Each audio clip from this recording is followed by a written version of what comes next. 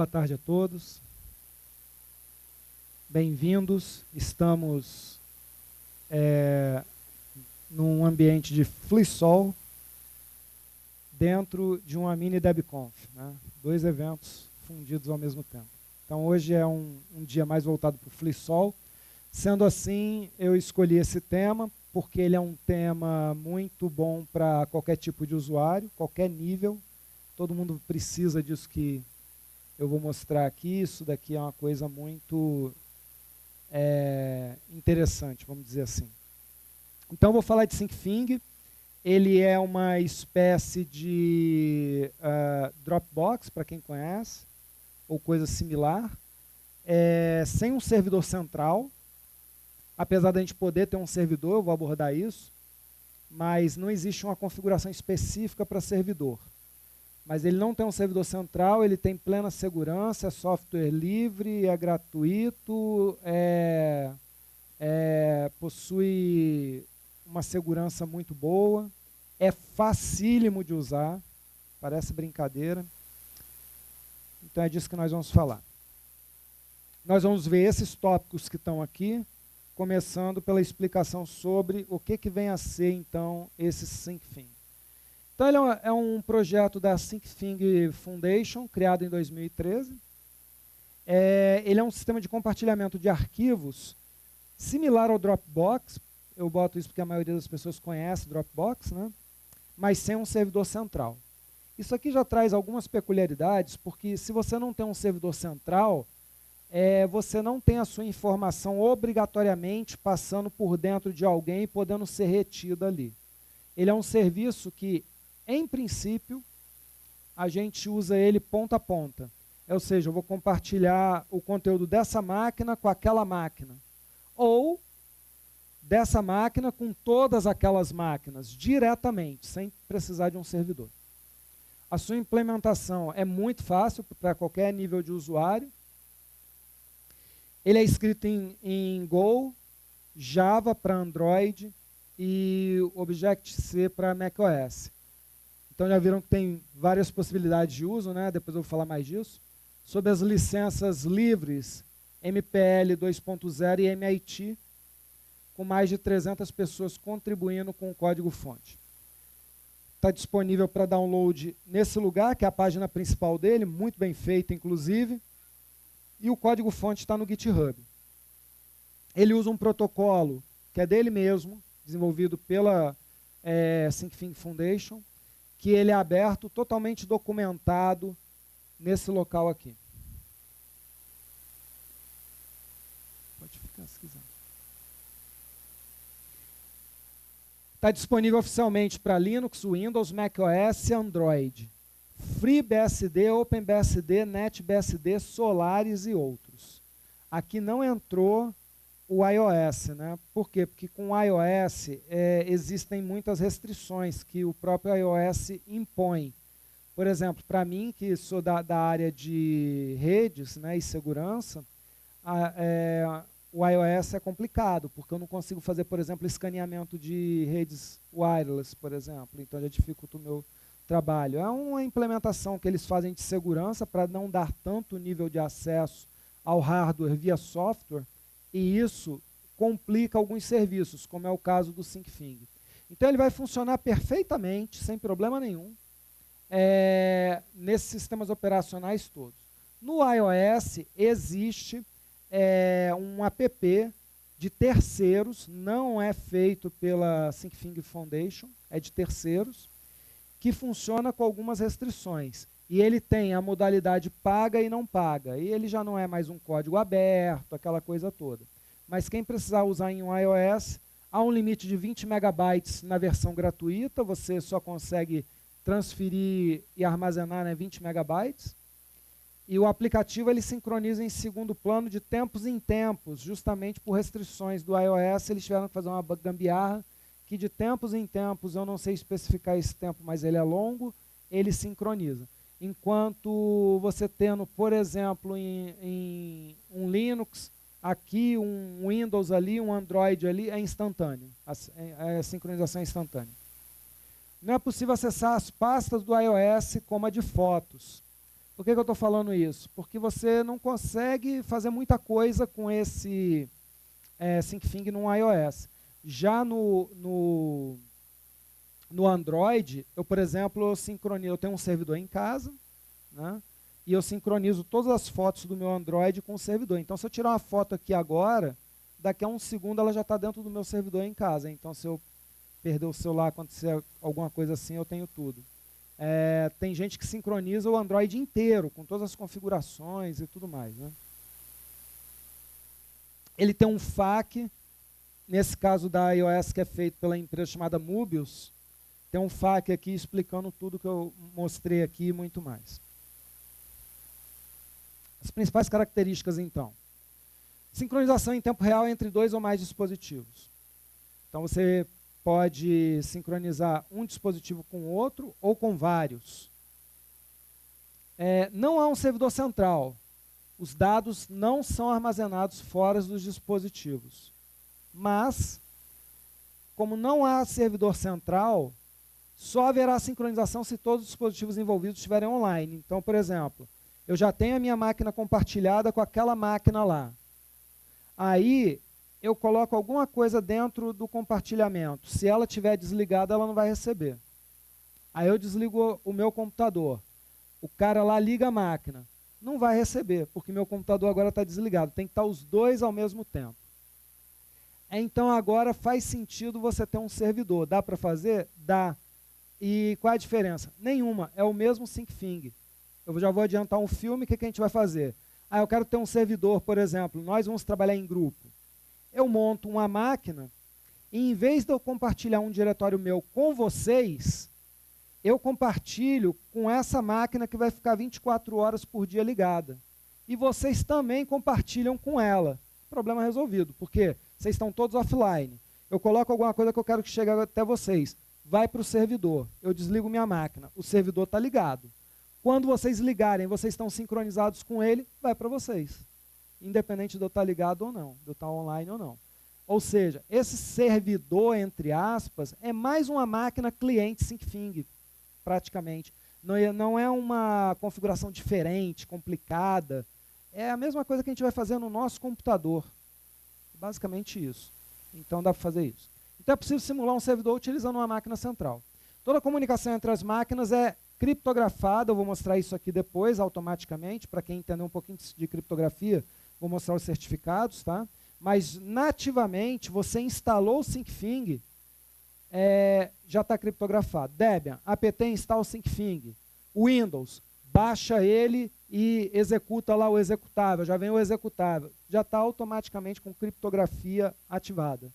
Criptografia de canal, ou seja, toda transferência entre duas máquinas é automaticamente criptografada. Sistema confiável de autenticação para interligação de máquinas com dupla aceitação. Como é que é isso? Eu quero compartilhar alguma coisa com vocês. Eu digo que eu quero compartilhar essa coisa. Vai aparecer na tela de vocês que eu quero compartilhar alguma coisa. Vocês têm que aceitar. Se vocês não aceitarem, eu não vou conseguir compartilhar.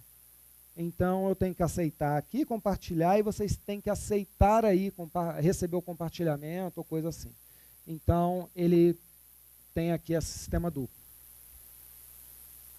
Sincronia, sincronia em rede local ou via internet, incluindo IPv6. Então você pode ter, por exemplo, se eu instalar SyncFing aqui, e se eu instalar SyncFing naquela máquina, quando eu entrar nele aqui, aquela máquina já aparece. E na internet, cada máquina tem um ID que é gerado, para quem sabe o que é isso, por UUID, né, aquele número grande. Então, se eu te passar qual é o meu é, UUID, né, eu te passo publicamente, isso não tem problema, você vai no seu SyncFing e fala assim, eu quero adicionar essa máquina aqui. Aí eu vou ter que aceitar. Então, meu, a, a identificação da minha máquina pode ser pública? Pode porque qualquer um que adicionar, eu vou ter que aceitar. O cara não vai incluir minha máquina sem eu aceitar. Então a adição de máquinas é feita por ID ou QR Code, né? QR Code que vai levar esse ID. Não é por IP. Então as máquinas se acham na internet por ID. Você pode trocar o IP, é, não, não vai ter problema nenhum, que elas vão continuar se enxergando. A configuração é via navegador ou aplicativo específico. Eu faço via navegador, acho mais fácil. Mas existem front-ends que você pode usar e fica com a mesma cara do navegador. Você pode instalar na sua máquina se você quiser. Cada dispositivo pode compartilhar quantas pastas quiser com quem quiser, na quantidade de megabytes, gigabytes ou petabytes que quiser. Então não tem restrição nenhuma. A não ser no caso do Mobius, né, lá no, no iOS, mas tirando isso, não. Cada dispositivo pode enviar e receber, ou apenas enviar, ou apenas receber. Então você pode dizer isso daí. É possível utilizar controles de versão, isso é um nome bonito apenas que deram, não é nada complicado. É, internos para criar lixeiras ou outros meios de reversão, de alteração, de deleção de arquivo. Então ele te dá ali cinco meios, se eu não me engano, de, de reversão de deleção, mas o mais comum se chama mesmo lixeira. Que se você for lá no compartilhamento e colocar, por exemplo, essa máquina está compartilhando arquivos com aquela, então o que tiver aqui vai ter naquela também. Aí só naquela, por exemplo, eu vou no compartilhamento e boto lá que eu quero ativar o lixeira, por exemplo. A gente pergunta, quantos dias? Eu boto 90. O que quer dizer isso? Quando eu apago um arquivo aqui, vai apagar lá também. Ou quando apagar lá, vai apagar aqui, aqui morreu. Mas naquela, esse arquivo é movido para uma lixeira, uma outra pasta, e fica lá 90 dias. Quando der 90 dias, ele apaga. Então, como eu ativei somente naquela máquina, naquela máquina eu posso reverter essa deleção. O que automaticamente vai reverter nessa também, porque o arquivo vai voltar para o compartilhamento e vai aparecer aqui. Né? Muito simples. Tem mais quatro métodos para fazer isso. Inclusive usando Git. Para descobrir dispositivos através da internet são utilizados servidores de descoberta. São servidores que estão espalhados pelo mundo, que pessoas como nós montamos, pode você pode montar um em casa e oferecer para o mundo, e esses servidores, eles fazem um computador enxergar o outro, porque eu posso desativar isso, inclusive, no cliente SyncFing, mas quando eu entro no ar, é, tipo, eu estou agora aqui ligado no wireless, né? a minha máquina envia para os servidores de descoberta o ID dela e o IP dela. E aí, quando alguém me adiciona, esse servidor de descoberta, é, diz, ele pergunta para o servidor quem sou eu, é, é o servidor diz para aquela máquina quem sou eu, onde eu estou, e a partir de agora as duas se ligam, não precisa mais do servidor de descoberta. Ele é só para descoberta, nós não vamos ficar trafegando informação dentro dele, arquivos. E os dois se ligam. É, já existe uma rede de servidores de descoberta e qualquer pessoa pode criar um com comando st é, discover service. Caso você crie o seu próprio serviço de discovery, você poderá optar por ligar-se apenas ele, em vez de usar os que já existem no mundo. Então ainda tem essa possibilidade. Você tem uma empresa, você quer um serviço privado, né? e você não quer que nenhum servidor de descoberta do mundo seja utilizado. Você cria o seu, e em cada cliente você configura que o servidor de descoberta é aquele. Pronto. Onde você for no mundo, você vai se ligar àquele cara e aí isso, essa informação vai ficar circulando dentro de um determinado meio controlado, dentro da sua empresa. A opção default é usar os servidores de descoberta que existem no mundo. Os detalhes estão aqui, isso aqui principalmente se você quiser criar o seu servidor de descoberta. Usuários comuns não vão querer fazer isso. Eles já vão usar os que existem no mundo, que está aqui uma fotografia de ontem, dois servidores de descoberta que nós temos no mundo. Vejam que tem aí no Brasil, inclusive. Se você quiser fazer um como voluntário, você pode fazer. É só ver aqueles dois manuais que eu falei por último, dar o comando, deixar disponível na internet e pronto. Vai aparecer um aqui em Minas Gerais, aqui, assim vai.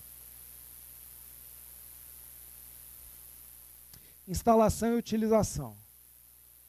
Agora que a parte difícil passou, nós vamos para a parte fácil. Instalar e utilizar, é muito fácil. Então é possível instalar e inicializar o SyncFing de várias formas em vários sistemas. No caso do Debian, apt install SyncFing. Outras distribuições vão usar os seus sistemas de instalação. Lá a linha Red Hat vai ter o seu sistema, lá no, no, no Gentoo e outros vai ter o seu sistema, mas enfim, nada demais. Ah, e para ele inicializar sozinho, junto com o sistema, não interessa se é Linux, Windows ou o que seja, tem aqui, nesse endereço aqui, como fazer. Tá?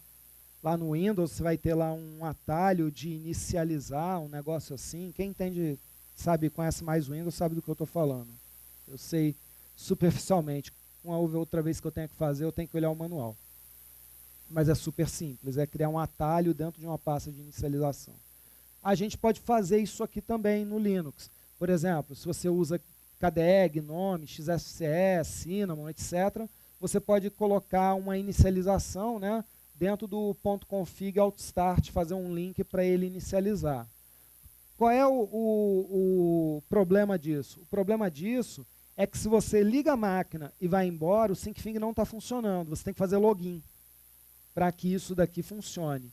Então, se você precisa ligar a máquina e ir embora, ou de repente é um servidor que a luz, você vai viajar e deixar ele em casa, a energia elétrica pode cair e voltar, e aí não tem ninguém para fazer login, esse método não é bom. Para sistemas que usam o supervisor de é, tem um comando para fazer isso, e no caso do Debian e derivados, que usa systemd, tem um comando para fazer isso. Eu vou dar um exemplo aqui do Debian, então, que você, no caso, é, você pode ativar por usuário. Então, você pode ter vários syncfings na mesma máquina. Você tem 10 usuários cadastrados, você vai ter um syncfing para cada pessoa. Então, para instalar, simplesmente apt install syncfing, nada demais, e aí você vai quem conhece um pouquinho de Systemd, né, sabe que a gente vai ter que habilitar e startar. Né? Se você quiser ver a situação da coisa, status. Lá no supervisor D é similar.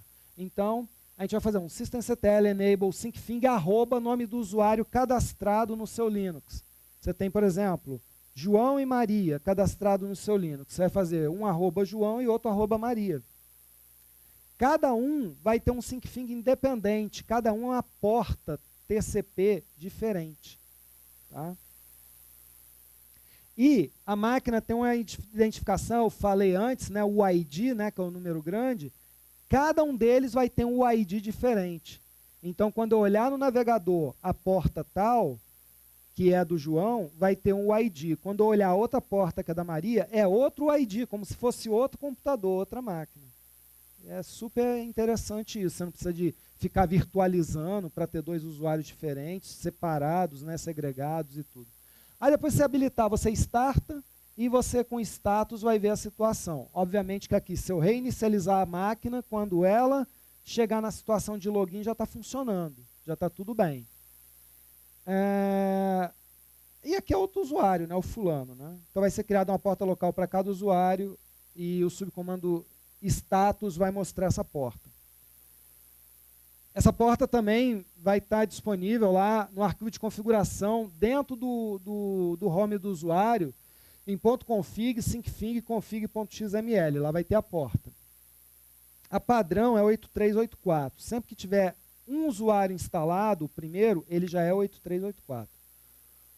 Outra opção é utilizar o comando ss-t o NLP, quem é de rede sabe mais ou menos o que é, quer ver todas as portas TCP, UDP, sem resolver nome, apenas as que estão em listening, né, as que são servidoras, mostrando qual processo está utilizando essas portas, fazendo um grep synct, que é de syncfing, grep 127, porque ele sobe em 127.001, né, e aí você vai ver as portas que estão disponíveis naquela máquina.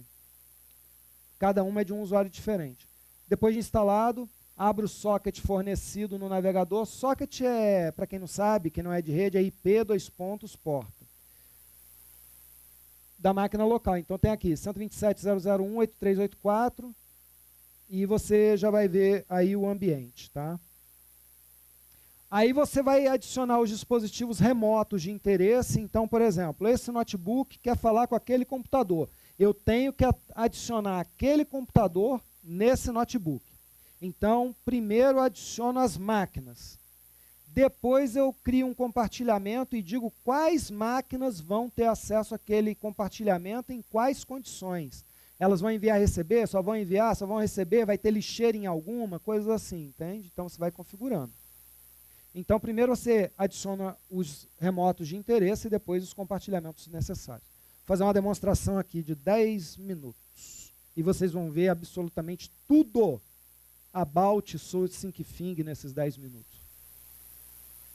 Então vamos lá. Nós temos aí uma máquina 1 e uma máquina 2. Estamos na máquina 1 aqui. E nesse momento nós vamos fazer a instalação dele. apt install SyncFing.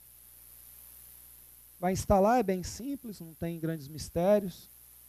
Geralmente não tem muitas dependências. Agora nós vamos colocar ele no ar. Vamos habilitar, startar e ver status. Então eu já estou fazendo com um usuário dessa máquina, que chama Heriberto, na máquina 1. Nós vamos, fizemos o enable, vamos fazer o start agora. E agora nós vamos fazer um status para ver se o serviço está no ar. O serviço está no ar, está ativo. E vai dar para ver a porta lá embaixo, o socket lá embaixo. Deixa eu ver se eu consigo descer isso aqui. E o nome da máquina é 01, tá lá.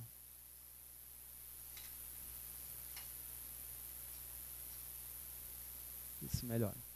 Agora nós vamos abrir o navegador, colocar o socket lá, 127.001.8384 e está aí a interface do SyncFing. Só isso.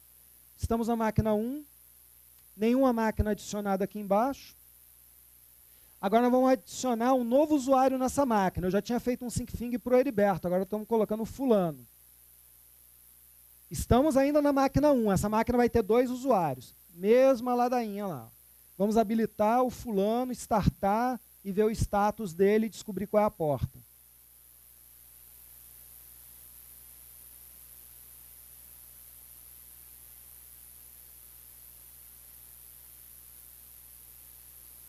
Tá aí. Tá ativo. E a porta dele é 33345. Então, colocando aquele socket no navegador, nós vamos ver o SyncFing dele. Porque o primeiro é do Heriberto, a primeira porta lá. Esse é o dele, naquela porta. Então temos dois usuários na máquina 1. Aí é o arquivo de configuração, config XML, nós vamos buscar por 127. E dentro do usuário Heriberto está a porta 8384. E se a gente for em fulano, fazer a mesma operação, está lá a porta 33345. Então, caso a gente esqueça a porta ou a, alguma coisa assim, a gente pode recuperar. Então, está aí. Aqui, ele está dizendo que a gente pode colocar uma senha, porque vocês vejam que eu tive acesso aos dois usuários. Então, para um usuário não entrar no outro pelo navegador, a gente pode criar um usuário e uma senha para essa porta. Então, cada usuário, cada porta pode ter um usuário e uma senha. E aí, para entrar nessa, nessa parte de configuração, ele vai pedir usuário e senha. Tá? Ele usa HTTPS também, está em HTTP, pra, porque esse aí já, já era uma forma mais simples de demonstrar, mas é muito fácil, é só habilitar lá, quero usar HTTPS pronto, acabou o problema. Aqui nós estamos em outra máquina, máquina 2, já é outra máquina. E lá nós vamos instalar o SyncFing também, que vocês já estão cansados de saber como é que instala, né? Vamos ativar nessa máquina, que vocês já estão cansados de saber como ativa, né? E lá tem um usuário Heriberto também naquela outra máquina.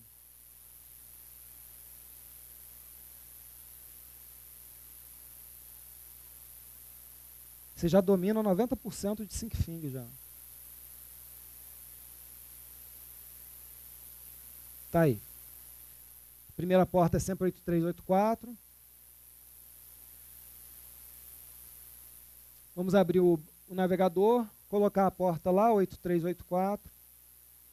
De novo tem um aviso ali de que criar o GUI, se você não quiser não precisa, nessa máquina só tem um usuário também, só ela, só aquele cara que opera ali não tem problema, mas no caso ali ele vai criar. Ele entrou nas configurações, veio em GUI e está criando. As configurações estão todas aqui nessas abas, são só cinco abas. Pronto.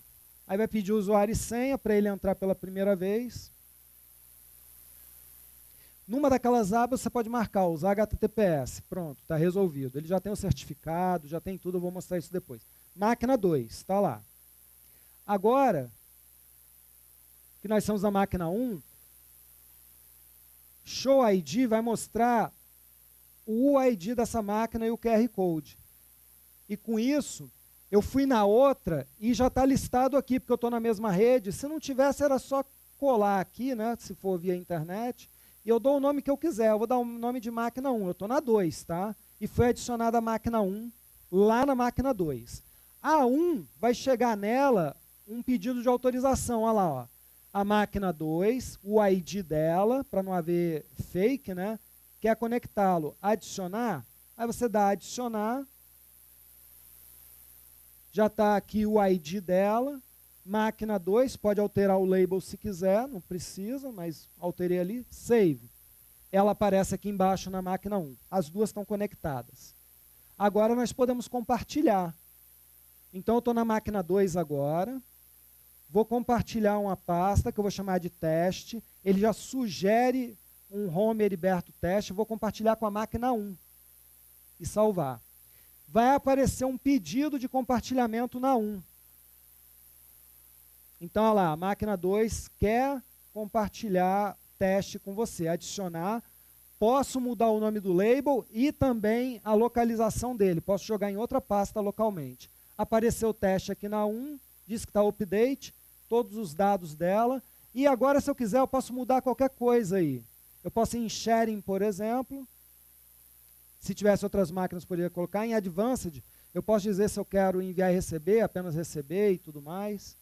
Tem lá o controle de versão que dá para ativar a lixeira, não vai aparecer, acho, nesse filme. E aí, eu tenho agora uma pasta da máquina 2 e máquina 1 compartilhada. Detalhe, o nome que você colocar lá, se não existir a pasta, tipo teste, ele cria o diretório, ele mesmo cria. Se já existir, ele compartilha e pronto. Vamos lá. Estamos olhando o teste na máquina 2 via shell e agora vamos olhar na máquina 1 via shell também. Tudo vazio. Vamos na 2 e vamos criar um arquivo. Está vazio lá na 2. Vamos criar um arquivo chamado arquivo que contém OK dentro dele. Está vazio. Aqui eu vou colocar um watch para ficar olhando a cada um segundo, fazendo um ls a cada segundo. Pronto. Criou lá, criou aqui, automaticamente. Já sincronizou. E se eu fizer um cat nesse arquivo na máquina 1, lá dentro está escrito OK. Agora vamos entrar com um Motorola, um Android. É a mesma coisa, o mesmo app, a mesma coisa basicamente. Nós vamos é, escanear o QR Code, já que eu estou na mesma, na mesma rede local. Se eu tivesse remoto, era só copiar e colar. Vou pegar aqui nas ações Show ID, estamos na máquina 1, né? E agora eu venho com Android e escaneio. Pronto, está lá o ID lá no, no Android, vou botar o nome que eu quiser. Máquina 1. máquina 1, então. Vamos adicionar. Aí na máquina 1 vai ter que dar autorização para adicionar esse Android. Né? Olha lá, New Device, Moto G5 e está lá o ID. Quer compartilhar com você. O nome você pode mudar, o ID está lá em cima. Pronto, agora eu tenho G5 em máquina 2 compartilhado com a máquina 1. Tá? Agora eu vou lá nas pastas, adiciono a que eu quiser. Pode ser a de fotos, ó, fui lá na raiz do Android, pegar de fotos aqui, de câmera. Aí tem duas câmeras, duas fotos aí tiradas por essa câmera. Só tinha essas duas fotos no celular.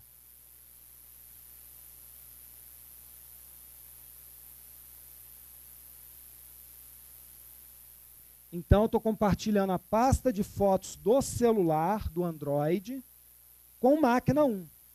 Se tivesse várias máquinas, você podia dizer quais máquinas você queria. Eu vou enviar apenas. Por quê? Porque tudo que eu fotografar vem para essa máquina, mas se eu deletar alguma coisa nessa máquina, não deleta no celular, porque o celular só envia, não recebe. Então agora ele está dizendo que o Moto G5 quer compartilhar lá a câmera, né? Que é o nome que eu dei para o folder. Ele mesmo já cria esse diretório se eu der o save. Só que eu não gosto de diretório e arquivo com acento e espaço. Então eu vou refazer ali e mandar salvar. E ele vai criar esse diretório para você, inclusive. Pronto. E aí, se a gente for lá na máquina 1, entrar em câmera que ele já criou e fizer um LS, estão lá as fotos. Já está compartilhado. Com o GeoEnvio, que é de galeria, a gente pode ver o que tem lá dentro.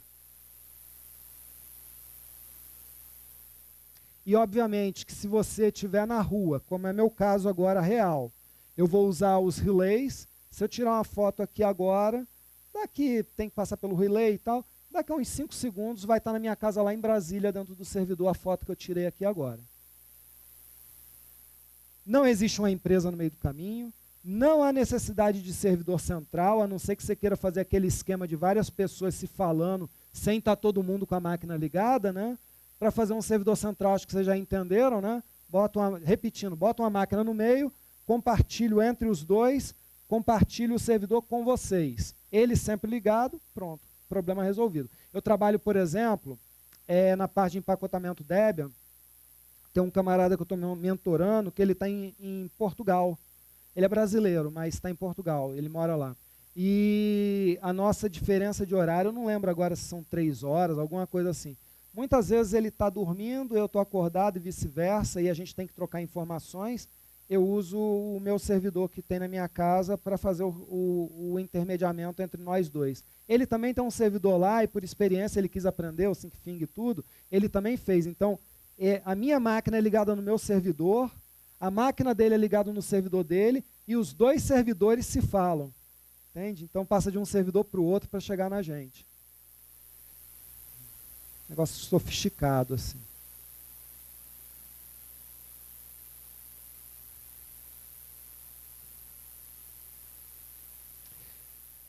Configuração. Qualquer configuração poderá ser feita via browser em ações configurações. Também há programas do tipo front-end, como eu falei. É possível, ah, tem para Windows, tem para Linux, e, e, tem vários, tem pelo menos uns quatro aí para Linux.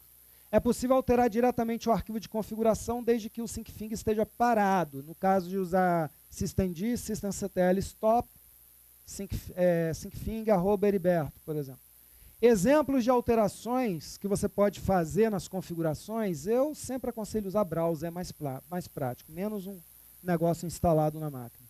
São o idioma, a porta a ser utilizada, habilitar HTTPS para o navegador, desabilitar a descoberta global, que vai usar os relays, caso você queira uma coisa interna, ou também você pode usar o seu próprio relay, selecionar o tipo de controle de versão, o mais comum é lixeira, que é lá o primeiro. Posso até mostrar o meu aqui para vocês, inclusive, que está funcionando aqui, porque o meu computador também sincroniza, o meu notebook também sincroniza com o meu servidor em casa. Então, por exemplo, eu faço uma alteração de uma palestra aqui, já altera lá também. Aí, quando eu, eu não gosto de notebook, quando eu, vou, eu só uso para dar aula e palestra. Quando eu vou fazer as palestras, eu faço no meu desktop. Faço lá, quando eu mando salvar, já está dentro do servidor. Quando eu ligo o notebook para viajar, já vem a palestra, entendeu? E agora, inclusive, se esse notebook dá defeito, o que, que eu tenho aqui? Eu tenho aqui um, um Deixa eu puxar, porque o que mais tem aqui hoje é camisa. Né, minha? Eu tenho aqui é, um NVMe USB, ó, esse aqui. Que aqui dentro tem um Linux instalado, um Debian instalado, roda perfeitamente, já atualizei antes de sair de casa, o apt upgrade, full upgrade, tudo. E ele tem SyncFing também com o meu servidor. Então, se a minha máquina der defeito agora, eu ligo nessa daqui, dou boot no meu Debian e em menos de 10 ou 15 segundos, todas as minhas palestras vão estar aqui dentro atualizadas, porque está no meu servidor, entendeu? Então, casos de uso. Né? Eu vou mostrar alguns, mas eu estou mostrando aqui real que eu uso. Né? Então, facilita muito a sua vida, para muita coisa.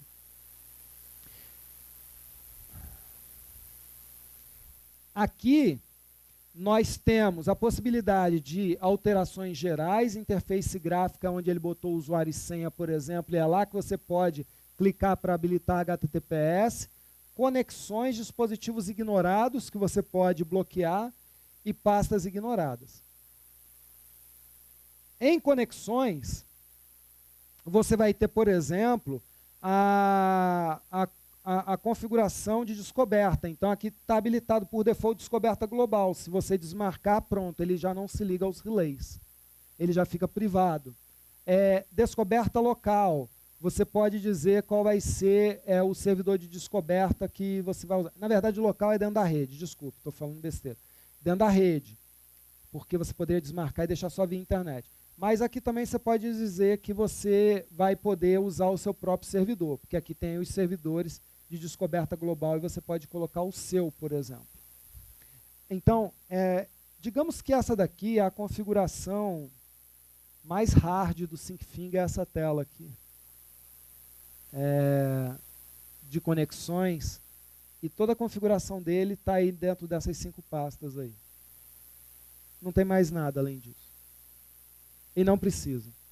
Aqui, para quem entende de um pouquinho de criptografia, certificação, esse daqui é o ponto X da questão. Se a gente entrar em ponto .config syncfing, o que, que vocês estão vendo lá dentro? Uma palavra. Certificados.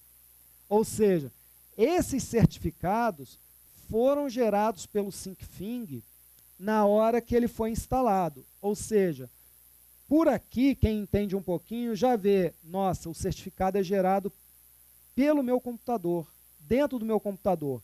Não é, por exemplo, um programa de conversação famoso que tem por aí, que tem até propaganda que diz assim: criptografia de ponto a ponto. Só eles sabem o que está sendo falado. Só que foi o, a empresa que gerou o certificado, então ela também sabe, se ela quiser.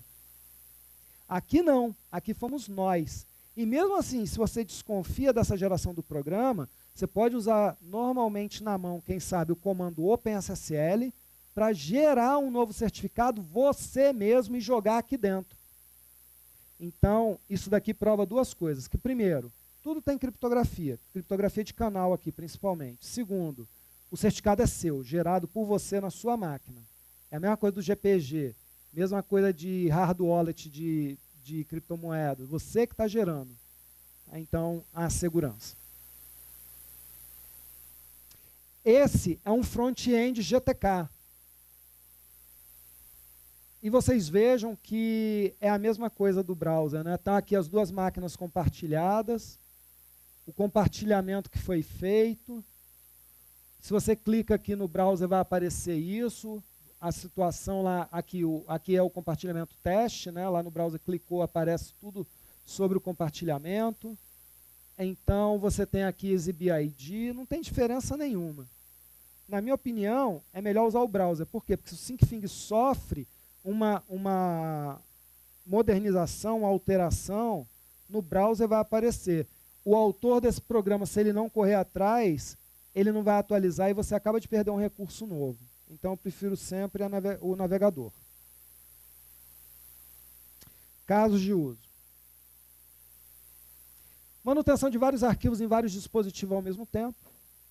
É, por exemplo, no meu servidor tem uma cópia da minha pasta de documentos. Então, se acontecer alguma coisa com o meu computador, eu não perco nada. Eu já não perco porque alguns devem conhecer outras palestras minhas, eu uso RAID 1 em todos os meus computadores. Né?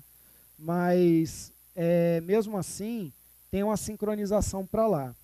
O que pode acontecer é eu deletar acidentalmente aqui alguma coisa. E como é, isso está habilitado no meu desktop somente enviar, aí não, não deleta lá se eu deletar aqui. Aliás, se eu deletar lá, não deleta aqui. Desculpa, se eu deletar aqui, vai deletar lá. Mas lá, deletando acidentalmente, não vai deletar aqui. É uma, é uma precaução de lá para cá. Daqui para lá, aí não vai ter efeito. Uh, backups de arquivos de foto celular, selecionar e apagar fotos do celular pelo computador, olha que legal. Você compartilha a tua pasta de fotos do celular com o seu desktop. Agora você abre um programa de galeria, tipo G1 Envio no seu desktop. Vai olhando as fotos, essa eu não quero, essa eu não quero, você tem 3 mil fotos olhando, essa eu não quero, essa eu não quero, essa eu quero, deleta. Pronto, vai deletar no celular também. Então você pode fazer isso via computador. que é muito mais prático. Né? Backup das configurações do Android, se você botar ali para é, compartilhar as configurações dele, ou até a raiz dele inteira. Enviar arquivos rapidamente do celular para o computador ou vice-versa. Você pode criar uma pasta no seu celular só para enviar arquivos quaisquer. E aí essa pasta que você jogar lá dentro do seu Android chega no computador e no computador chega no Android. Uma pasta só para isso. Troca de arquivos entre um AVM Windows e um hospedeiro Linux, por exemplo. Uma forma fácil de você ter um AVM Windows dando Linux e fazer um, um compartilhamento de arquivos, sem ter que usar Samba, por exemplo, é, porque às vezes você não gosta de Samba, eu não gosto muito. É uma solução, mas eu não gosto muito. Você pode usar é, é, é, TCP/IP puro aqui com o SyncFing, SyncFing nos dois e compartilhando. exemplos de topologia. Aqui está um exemplo bem louco, tá? que às vezes nem pode fazer muito sentido, mas só para vocês terem uma ideia aí das coisas mais loucas que querem, podem ser feitas, nós temos uma rede local aqui, a internet, dois computadores na internet isolados. Né?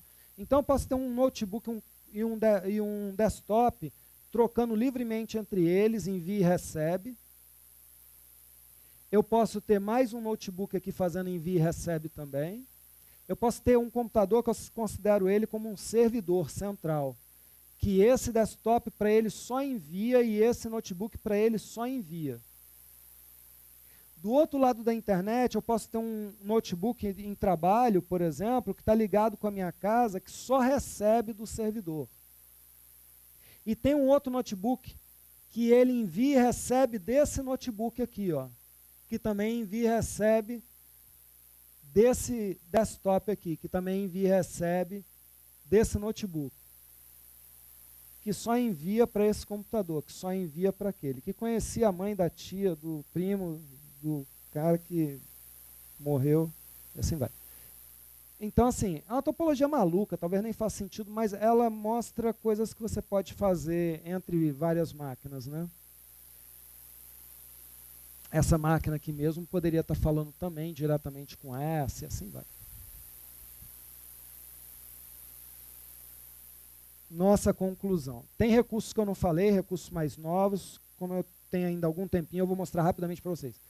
Ele é de fácil utilização e manutenção, não requer um servidor centralizado de dados. É, os seus arquivos serão somente seus em qualquer lugar do mundo, não passam por dentro da empresa. É um serviço seguro, pois há criptografia de ponta a ponta sem intermediários. A palestra está disponível no meu site, todas as minhas palestras estão disponíveis lá. Eu vou tirar essa tela agora só para mostrar é, mais alguma coisa.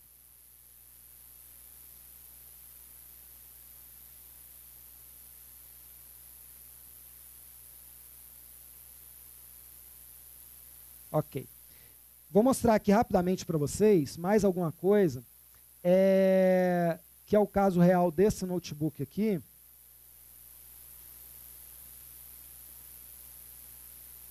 Aqui, SyncFing.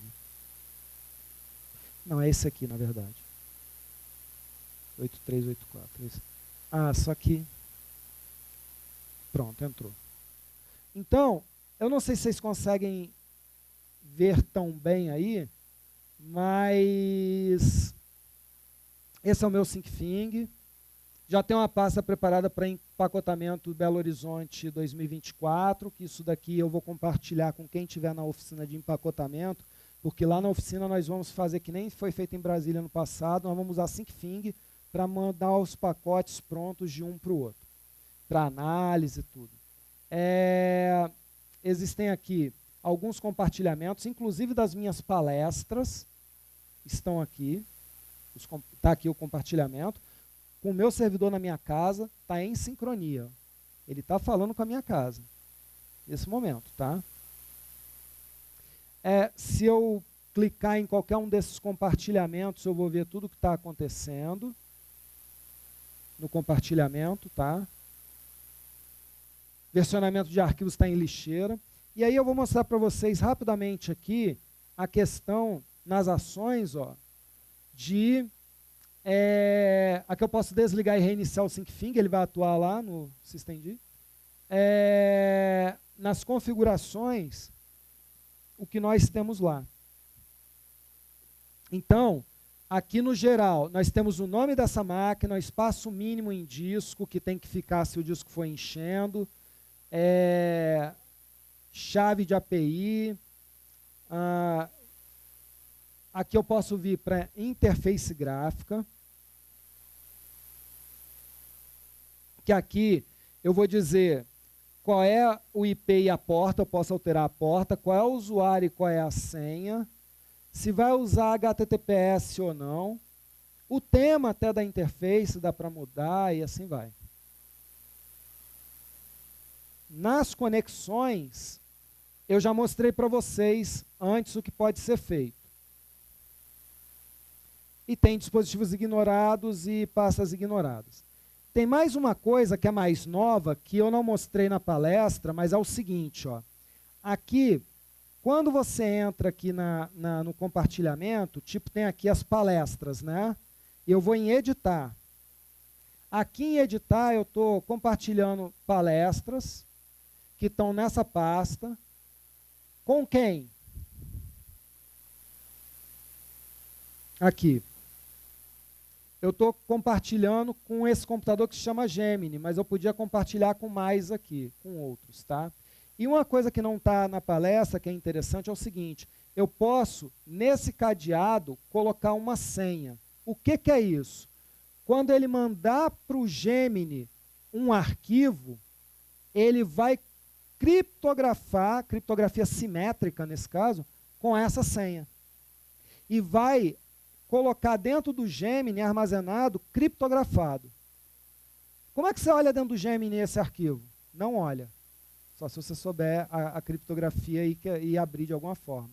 Você vai fazer o seguinte: você vai pegar outro computador e vai compartilhar com o Gemini. Só que o compartilhamento só vai funcionar se você souber a senha, que vai decriptografar o arquivo para trazer. Então, nesse momento, se eu estiver usando esse recurso alguém entrar na minha casa e levar o servidor, ele não consegue ver o conteúdo, porque está criptografado. Só as pontas decriptografam. Tá? Então, esse é outro recurso que ele tem. E é isso. Versionamento de arquivo, por exemplo, eu estou usando aqui uma lixeira, estou usando o tipo lixeira, tem vários tipos, né? Tem aqui desligado, simples e tal. De 60 dias. Deu 60 dias, ele aniquila tudo. E o resto tem filtro, se você quiser fazer expressão regular para ignorar alguma coisa, tem um avançado aqui para alguma coisinha. Aqui que está enviar e receber e tudo.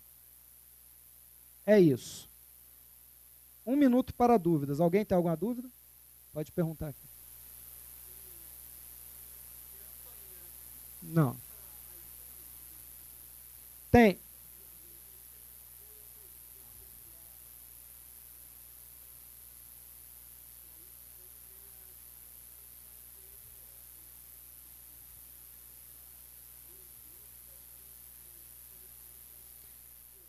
Tem. Tem, mas é cheio de problema. Né? Como eu não sei se você estava aqui no início da palestra.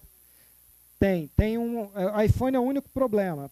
É, ele vai ter que usar um, um app proprietário da Mubius e você não vai conseguir, por exemplo, acessar a pasta de fotos. Você vai ter que criar uma pasta e só o que entrar naquela pasta vai ser acessado remotamente, nada mais.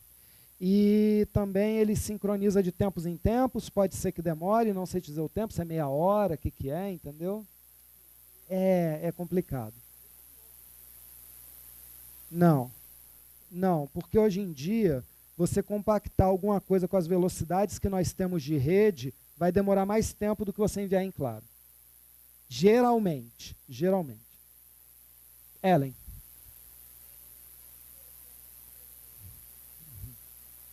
Valeu.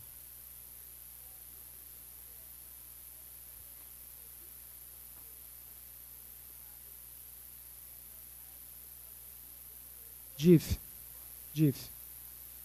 É, e hash, diff e hash, diff e hash. Hash.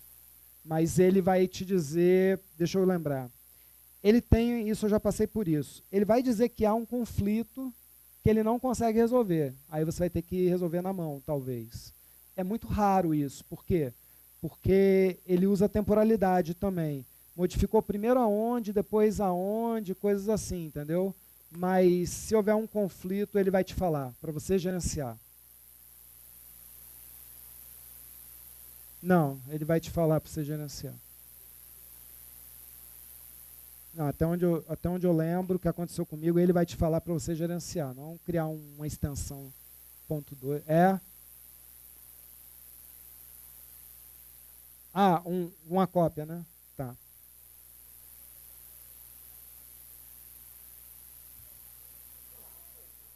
Ah, vai estourar, né?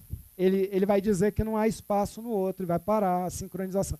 Ele, é, na sincronização, você podia ver ali que ele dava update ele vai te dizer que not synchronized. E aí ele tem log também. Eu não mostrei ali, mas ele tem log. É, via interface você consegue ver. No log você vê o que está acontecendo. Problema de permissão, por exemplo. O arquivo está dentro de Heriberto, mas o usuário dono é o root. Aí ele não consegue sincronizar. Ele vai te dizer isso no log, entendeu? Problema de permissão. Mais umas.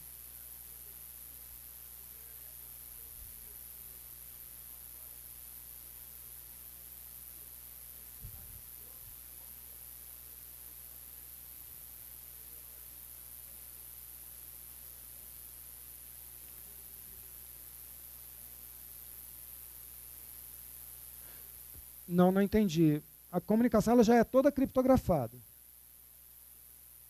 E, e no relay não vai passar nenhum dado, só vai fazer a descoberta onde está a outra ponta. Aí as pontas se ligam entre elas, sem relay, para passar os dados. Canal criptografado. Tá.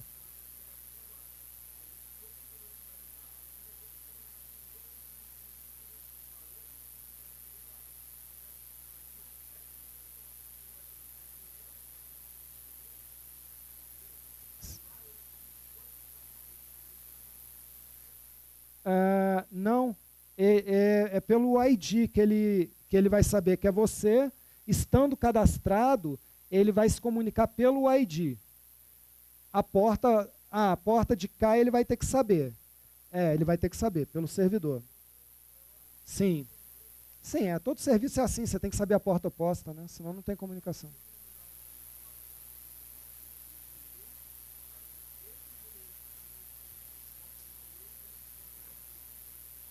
É mais ou menos, mais ou menos. Mas você vai ter comunicação de socket a socket no final, não tem jeito.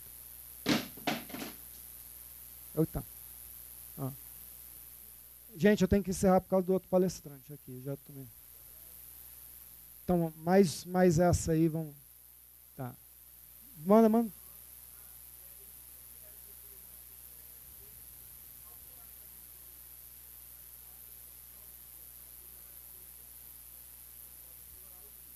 Pode.